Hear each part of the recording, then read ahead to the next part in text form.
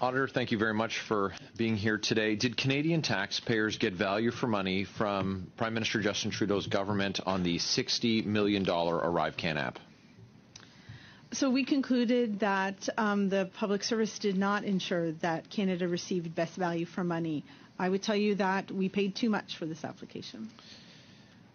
You described it uh, as um, the Trudeau government having, quote, glaring disregard for management practices, end quote, and poor record keeping, a lack of basic due diligence, and that you were, quote, unable to determine the precise cost of the ArriveCan app, end quote. So $60 million is an estimate. Is that correct?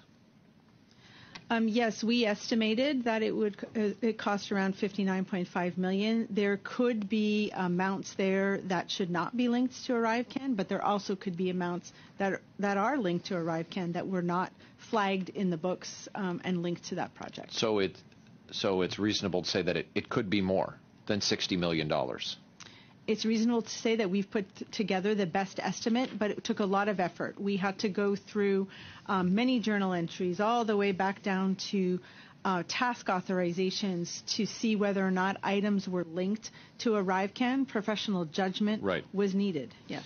Right, and, and just to, to quote um, the key facts from your report, it says, quote, this made it impossible to accurately attribute costs to projects, end quote, with respect to the, um, to the poor record keeping.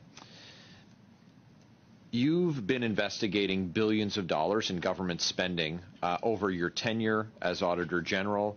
Would you say that the Trudeau government's ArriveCan is the worst that you've seen? So I looked at a lot of contracting that happened uh, during during the pandemic when the public service was act to act quickly um, and um, you know serve the public. Uh, this would probably be the, the first example that I've seen where there is such a glaring disregard for some of the most basic and fundamental policies and rules and controls.